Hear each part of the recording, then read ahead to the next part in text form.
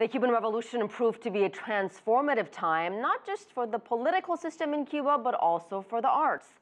I talked about that and much more with Abigail McEwen. She's an assistant professor of Latin American art at the University of Maryland.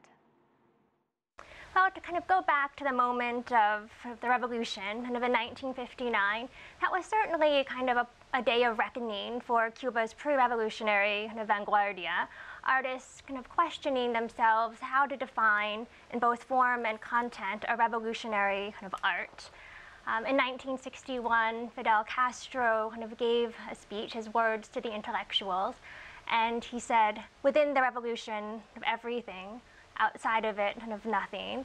In practice, that meant that a number of artists embraced kind of figuration, um, photojournalism, kind of pop art in the sense that we might be more familiar with with artists like Andy Warhol, um, installation art eventually, performance art.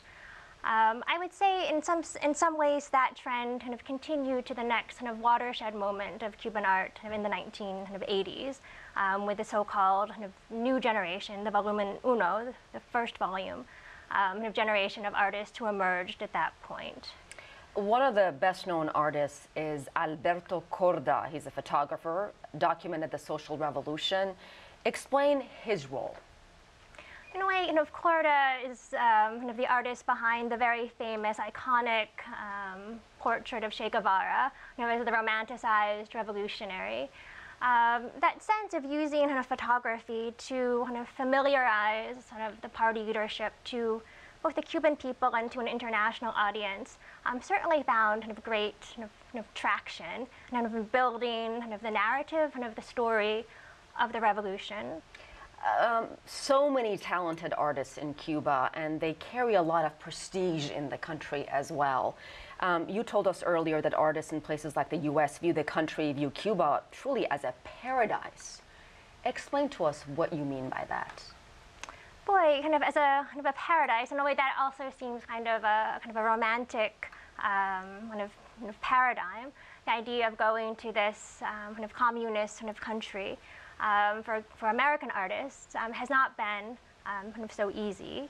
Um, Cuban artists, I would say today, are trying to, in a way, kind of resist kind of that, that paradigm of Cuba as kind of the tropical kind of playground um, um, critiquing in a way more openly now, I would say in the last 10 years, um, kind of the government, kind of the isolation of Cuba, kind of internationally, um, kind of the, the so-called imperialism, as they would say, of, of the states.